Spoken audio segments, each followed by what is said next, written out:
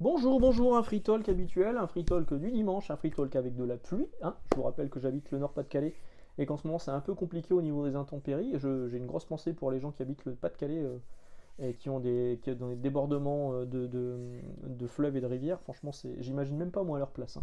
Euh, si j'avais de l'eau qui montait jusqu'aux genoux au niveau de l'atelier, ça serait compliqué, même au niveau de la maison tout court, hein, ça serait une catastrophe. Donc, fort, grosse pensée pour eux. Euh, donc free talk habituel parce qu'on entend la pluie et free talk habituel parce que on va parler Panini. Euh, tout simplement parce que cette semaine c'était la reprise des offices euh, dans les librairies et à savoir qu'au niveau du comics il n'y a pas une nouveauté urbaine cette semaine. Les sorties urbaines c'est le vendredi, les sor- sorties Panini c'est le mercredi. Par contre, mercredi, on a eu quand même pas mal de sorties chez Panini, on va en parler aujourd'hui. À commencer par les fascicules, donc avec Destiny of X 24 et 25 que j'ai là, euh, tout simplement parce que je continue à les acheter pour mon, fr- mon frangin, mais vous le savez, moi euh, j'attends qu'une chose, c'est que ça se termine. Et a priori aux États-Unis c'est bientôt la fin parce que Tom Brevoort euh, a rejoint le, le pôle qui gère tout- toute la licence X-Men et va relancer les X-Men là cet été. Donc j'ai vraiment hâte de voir ce que ça va donner, en espérant qu'ils mettent des bons scénaristes, qu'ils mettent des bons, des bons dessinateurs pour relancer parce que moi j'aime bien les X-Men mais euh, je retrouve pas le plaisir que j'avais à lire les X-Men de Chris Claremont, même de Scott Lobdell, euh, de, euh, les dessinés par Jim Lee, par Joe Mad, euh, par Kia Samia, non je déconne. Même les X-Men de Bendis, moi je les aimais bien, mais là tout ce qui a été fait sur Oxbox, à part le début, j'ai pas aimé du tout. Donc j'en suis à même plus lire, les survoler rapidos histoire de rester un petit peu à jour et de voir ah tiens lui il lui arrivé ça, mais c'est tout. Donc il y a eu les deux, euh, fascicules euh, Destiny of X, mais il y a aussi Marvel Comics saison 2. saison 2. Euh, Panini communique en disant que c'est saison 2. Ah, C'est la première fois qu'ils le font. Ils l'ont jamais fait quand ils ont fait l'annonce en disant que ce serait la saison 2. Enfin, pas de mon souvenir, non. Donc saison 2, c'est bizarre hein, parce qu'à chaque fois qu'il y a eu des relances de fascicules chez eux, ils n'ont jamais parlé de saison 1 et de saison 2. Là, c'est le cas. D'ailleurs, sur le côté, là, sur le dos, vous voyez que c'est écrit Marvel Comics avec un petit 2 entre parenthèses que les, les gens mal renseignés pourraient prendre pour un 11 hein, et un numéro 1 ici. Et ici, c'est pareil, devant, là, c'est numéro 1. C- Ça m'étonne aussi que ce soit un si petit, euh, si petit caractère en général. Quand c'est un numéro 1, ils mettent un truc là. Donc numéro 1 avec entre parenthèses le numéro 11, le numéro 2, pardon, euh, ou le ou pause. Voilà, en fait, ils sont en pause euh, chez, chez Marvel Comics. Couverture de Javier Garonne, je dis pas de bêtises. Euh, je ne sais plus. Bah, je sais même pas. Moi, je sais pas, tiens. Euh, et euh, à l'arrière, c'est du Greg Land. Greg Land, on va en reparler aussi à l'intérieur. Franchement, c'est dégueulasse. Alors, dans ce Marvel Comics, on nous annonce que. Euh, Arnaud nous annonce que, effectivement, c'est euh, c'est le nouveau numéro de Marvel Comics. Le premier numéro de Marvel Comics. Bon, euh, le premier numéro de la saison 2, du coup, parce que là, il le précise pas. Si vous étiez déjà lecteur de la présente version de ce mensuel, alors vous êtes en terrain inconnu. Oui, parce que c'est exactement la même chose. C'est du Spider-Man, du Avengers. Quand ils ont un peu de place, ils rajoutent Iron Man. Et là, ils ont même rajouté, rajouté comment ça s'appelle Nick Fury, un numéro spécial anniversaire Nick Fury, qu'à mon avis, on va retrouver que là. hein. Euh, là, si vous êtes complétiste et qu'il vous faut absolument ce numéro de Nick Fury, bah, il va falloir vous procurer ce Marvel Comics saison 2, numéro 1, parce que, euh, parce que je vois mal où il pourrait le claquer ailleurs. Euh, donc, à l'intérieur, on a la suite. Donc, Arnaud nous explique dans, dans l'édito que c'est le moment de se lancer si vous êtes nouveau lecteur, machin, tout ça. À la fin, il nous explique aussi, voilà, ici, que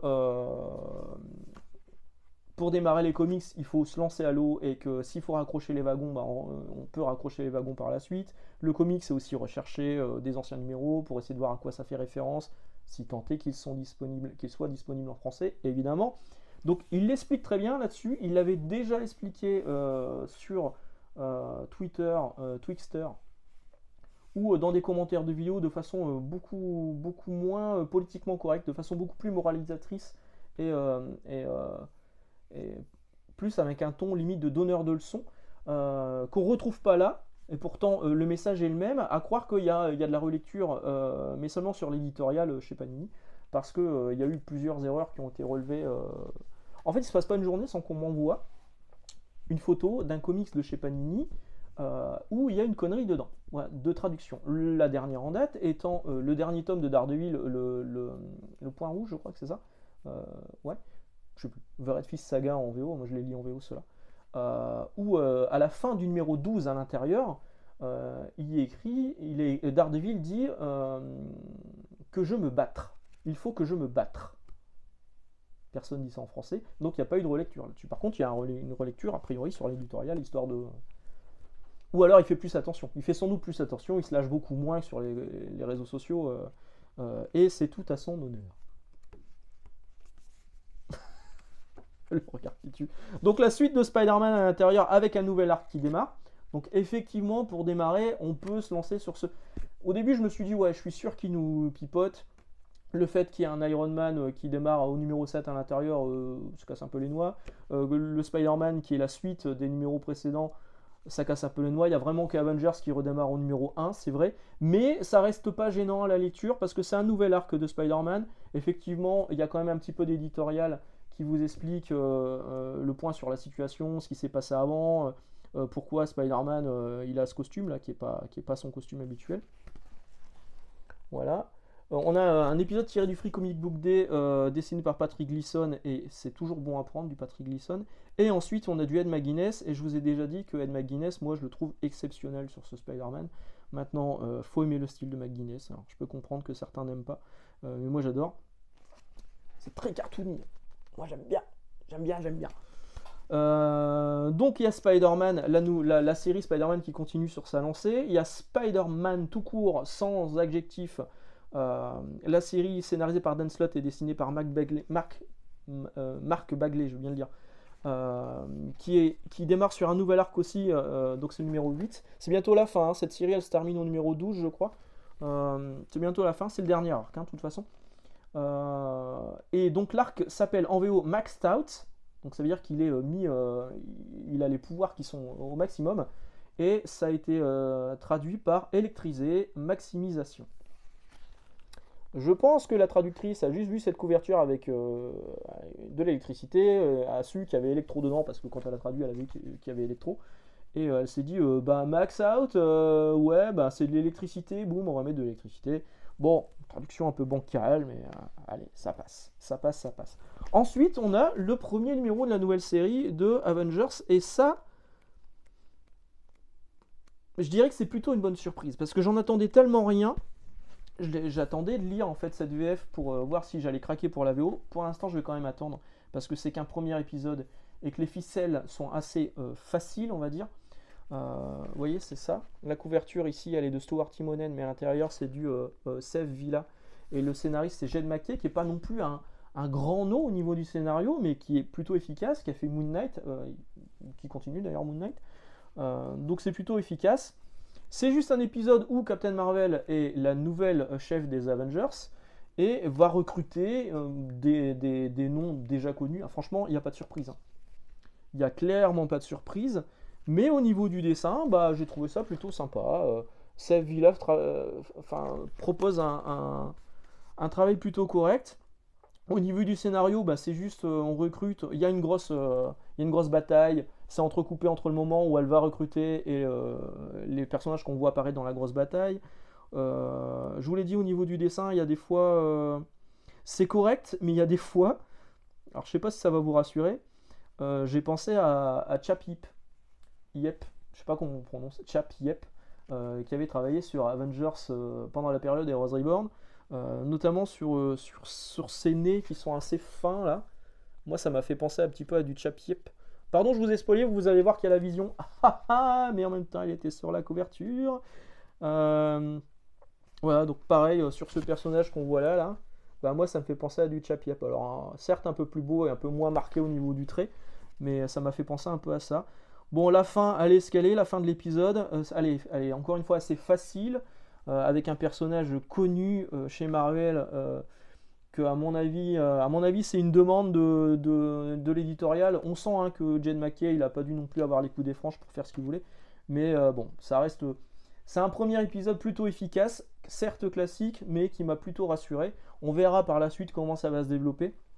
Ensuite, on a un autre Avengers numéro 1 qui est All Out Avengers, euh, All Out Avengers, Avengers, putain mon accent ridicule, scénarisé par Derek Landy et dessiné par Greg Land, Greg Land il a fait plusieurs mini-séries sur Spider-Man dans son costume noir avec Peter David. C'était là où je l'avais vu pour la dernière fois. Et que maintenant il fait du All Out Avengers, qui est là, avec une couverture, bon, voilà, avec une première page que j'ai trouvé cool. Voilà, je trouve que cette Carol Danvers un peu démoniaque, je la trouve très très cool. Ça, ça m'a plu, mais dès la page suivante. Alors, ça aussi, ça m'a fait rire. Qui je vais tuer en premier Et on voit les deux qui se pointent du doigt l'un l'autre, donc ça, c'est plutôt rigolo. Euh, mais dès la page suivante, euh, qu'est-ce que c'est que ça? Qu'est-ce que c'est ça? Ces cheveux là, ce bras, c'est dégueulasse. Moi, je veux bien qu'on critique Rob Liefeld, machin, il dessine pas de pied. Bon, là, il n'y a pas de pied non plus. Sur ses proportions, mais rappelez-vous que ça reste du dessin, que c'est pas obligé, on n'est pas obligé de faire du dessin réaliste. Bon, là, ça c'est ni fait ni à faire. On a l'impression que le mec, il a, un, filtre Instagram qui a été collé sur son visage. C'est dégueulasse. Et, c'est encore le cas après. Hein. On le voit encore tort avec cette chevelure un peu chelou là. non. Alors en plus, All Out Avengers, euh, au niveau du scénario, bah il n'y a rien. Il n'y a rien à en tirer. C'est alors ils le disent dès le départ, hein, euh, dans le cours éditorial, ils disent euh, c'est une série où vous allez, euh, ça va à 100 à l'heure. Effectivement, ça va à 100 à l'heure.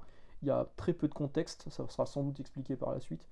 il, y a, il, Poum Poum la bagarre, franchement, c'est du remplissage de pages, c'est franchement pas terrible.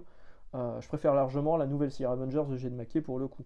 Ensuite, on a Iron Man numéro 7. Voilà, qui est là, Iron Man numéro 7. que dire? Bah, c'est pas mal. C'est pas mal, mais c'est la suite. Voilà. Alors après, effectivement, c'est un nouvel arc qui démarre. Euh, moi qui les ai plus Iron Man depuis quelques temps, je me suis dit je vais le lire pour voir si je suis complètement paumé. Non, parce que c'est quand même bien expliqué au niveau de l'éditorial au début.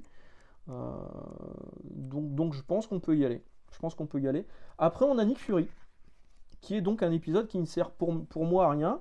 Euh, bon, bah après, si, s'il y a des fans de Nick Fury, on présente Nick Fury, on présente Nick Fury Junior, qui est donc le sosie du Nick Fury de la version, de Ultimate de Nick Fury. Hein pas compris pourquoi ils ont voulu absolument claquer euh, le Nick Fury. Euh, enfin, si, c'est pour faire comme dans les films, mais je veux dire, il était déjà. La version Ultimate de Nick Fury était déjà comme dans les films. Pourquoi avoir changé le personnage? Je veux dire, le personnage de Kang, euh, dans l'univers 616 classique, ils n'ont pas, ils pas changé de couleur de peau sous prétexte que l'acteur qui joue Kang, qui a des problèmes en plus, juridique, hein, euh, est, un acteur de couleur, aussi bon acteur soit-il, même si a priori au niveau, euh, personnel c'est un peu une ordure. Euh, ils n'ont pas changé le personnage du comics pour ça. Donc pourquoi ils l'ont fait sur Nick Fury? Bah, Ils se sont dit on va pas vraiment changer Nick Fury, on va lui claquer un fils qui sera black et qui ressemblera, ressemblera à Samuel L. Jackson. Alors je crois qu'il y avait une histoire de changement d'identité, ils ont changé la couleur de peau, le visage et tout. Bref, j'ai pas tout suivi, mais bon, les deux personnages, vous les trouvez là-dedans. Et on retrouve aussi la clé du zodiaque avec Scorpion. Ça, ça fera plaisir aux anciens lecteurs euh, euh, euh, qui connaissent Nick Fury et qui connaissent le zodiaque. Moi, j'aimais bien le zodiaque. C'était un truc qui était plutôt cool. ah oui, il y avait un truc qui m'a fait rigoler là. Voilà. Donc là, on vous dit. Donc il se passe un truc, hein, on vous explique quelque chose et on vous dit il y a un petit, un petit encart en bas. Croyez-nous sur parole, ou lisez Marvel Deluxe Amazing Spider-Man Now numéro 3. C'est le bordel pas possible. Donc les mecs qui démarrent Marvel Comics avec celui-ci, qui vont se retrouver là-dedans, vont se dire oh là, je comprends rien. Et ils vont chercher après, ils vont pas le trouver, ils vont devoir le trouver d'occasion, ou bref. C'est une catastrophe euh, au niveau du suivi éditorial. Mais bon, oui, effectivement, si vous voulez démarrer Marvel, euh, j'aurais pu faire une vidéo spéciale en fait, hein, pour vous dire que vous pouvez démarrer Marvel avec ce Marvel Comics. Bon, ben oui, vous pouvez démarrer Marvel avec ça. Mais, euh, mais vous aurez que du Spider-Man et du Avengers. Et, des personnages qui, tournent autour des Avengers. Euh, cette vidéo est bien trop longue. Voilà, donc du coup, je vais, quand même, je vais quand même vous parler un petit peu de ce que je voulais vous parler d'autre.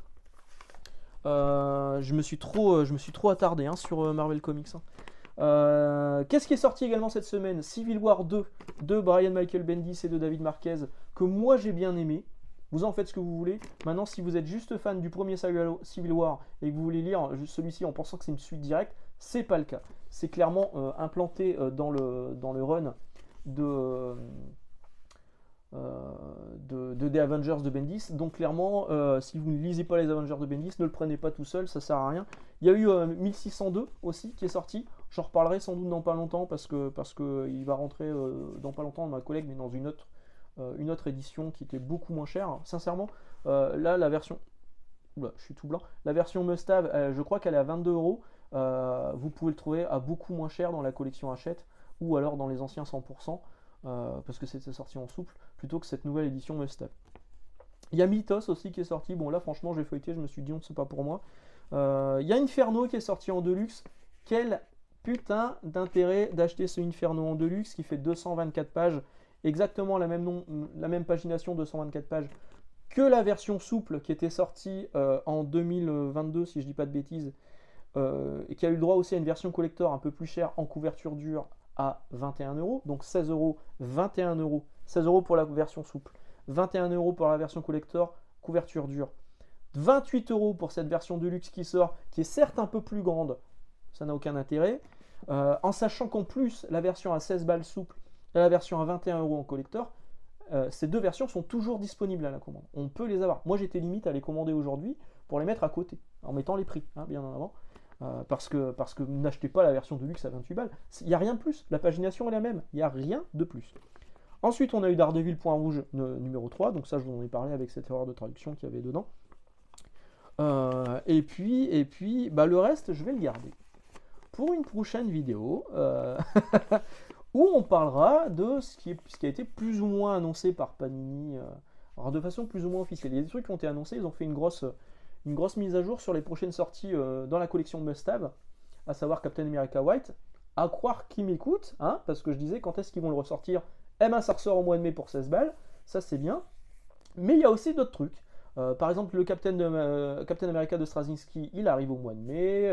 Euh, Night Club, il arrive au mois d'avril. Enfin, la collection, je vais vous la dire tout de suite, celle-ci, la collection Marvel Pocket, la collection Marvel Nomade, ce sera pour le 3 avril. Donc voilà, on en reparlera. Je vais vous refaire une vidéo mardi où je vais reparler un petit peu de, des trucs que moi j'ai retenus, hein, parce que je ne vais pas, tout, tout vous sortir, mais les trucs que moi j'ai principalement retenus.